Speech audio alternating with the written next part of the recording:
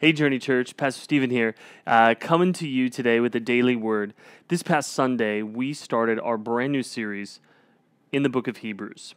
And we're going to be going through Hebrews this entire year. And I'm so excited to go through the book of Hebrews with you. And uh, the reason why I'm excited is because Hebrews shows us chapter after chapter, 13 chapters worth, of how Jesus is better. Jesus is better than anything we can imagine, anything that we can think of. And that is so important for us in this day, today, that Jesus is better. Why is it important?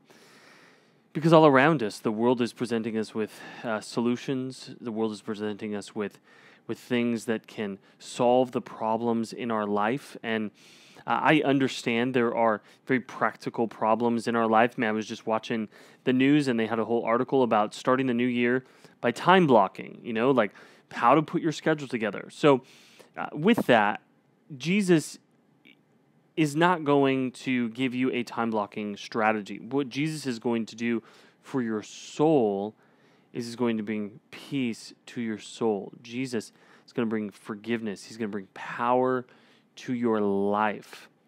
So, today, the daily word out of the book of Hebrews is talking about how Jesus is greater. And I want you to think today about the things in your life that are giving you that deep joy, the things in your life that are giving you the deep satisfaction. And, I, and, and as you go throughout your day today, I want you to recognize that Jesus is not wanting to minimize any of the things that bring satisfaction, that bring joy, that bring peace. Jesus, as he comes into our life, he is greater than those things.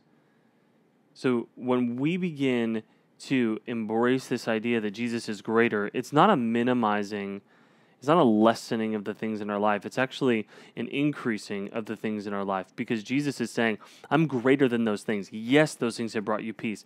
Yes, those things have brought you joy. Yes, those things have brought satisfaction to your life. But if we were to lean into Jesus, He would bring joy and satisfaction and peace and clarity even greater than those things that we've relied on. Jesus is greater. And as we begin to worship Jesus today, it begins to uh, enlarge our entire life, not make our lives smaller. And that's what's so interesting because when we worship the God of the universe and we focus in on Jesus, you would think it would it would shrink our life down. But the more we focus on Jesus, the more our life expands. And so I encourage you today with this reality that Jesus is greater, that, that God loves us and He has sent His Son Jesus. He has sent His Son Jesus to be our Savior. And I love that we are getting this opportunity to go through the book of Hebrews. I'm going to just close with reading the beginning here.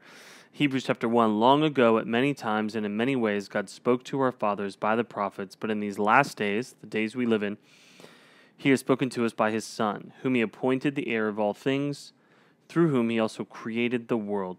He, Jesus, is the radiance of the glory of God, the exact imprint of His nature, and He upholds the universe by the word of His power. After making purifications for sin, He sat down at the right hand of the majesty on high, having become as much superior to angels as the name he has inherited is more excellent than theirs. Meditate today on the reality that Jesus is greater. Love you, church.